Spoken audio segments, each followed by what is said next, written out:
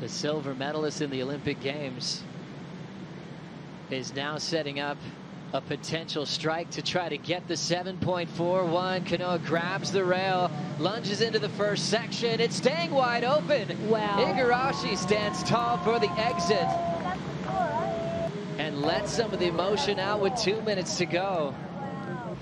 Look how deep he is. He doesn't even have time to slow down. He is just gunning for the end of this barrel, and that is going to be up into the excellent range, I would say. It is, he was just so deep on this just pulling up and just holding his line while it's throwing over the foam ball. That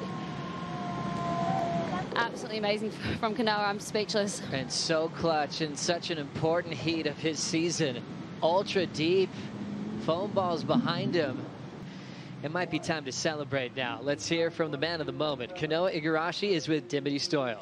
Wow, Kanoa Igarashi, moments like this in your career doesn't get much better. A 9.7 in the dying minutes of that heat to win that under so much pressure. Uh, wow, that's a lot of pressure. Um, I'm like lost of words right now. I, uh, I can't believe it. Honestly, it was, it's super emotional for me. Like, I really, really don't know how to put it to words. Um, I want to thank Chopu. I want to thank Chopu. Uh, for being my, my biggest mentor in my career, I think. Um, I remember when I first came here when I was like 11 or 12, and I caught like one wave at small pass, I think. I was so scared to surf out here. And over the years, I spent so much time here. Um, I really want to thank uh, Raimana, especially, and, and Kauli. You know, I came here, I spent a lot of time here uh, the year before last when uh, during COVID.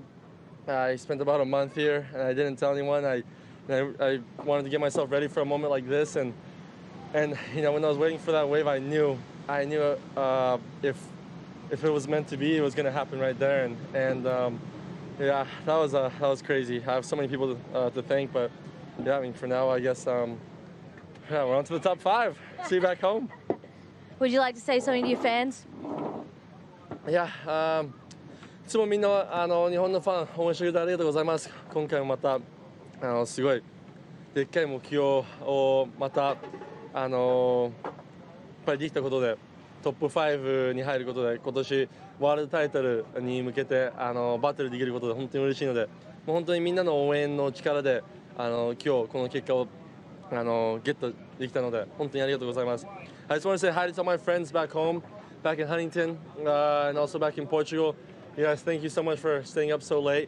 Gary, I know you're watching. I hope I made you proud. Uh, my parents, oh, I love you guys. This is huge. And, um, you know, uh, there's so many people that are in my corner, but, you know, I can't wait to talk to all you guys. And this is a huge moment for me. Um, it'll be my first uh, shot at the world title, and, and uh, I know I'll do my best.